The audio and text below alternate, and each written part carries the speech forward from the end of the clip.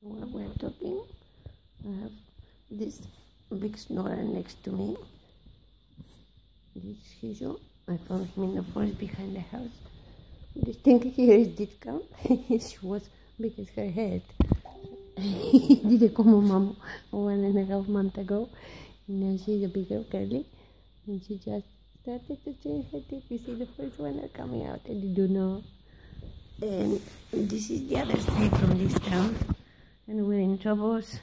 Yesterday she got castrated, her milking glands are getting struggled, so I will start making compresses because for sure there are a lot of pups somewhere who are dumped without mother, but none around.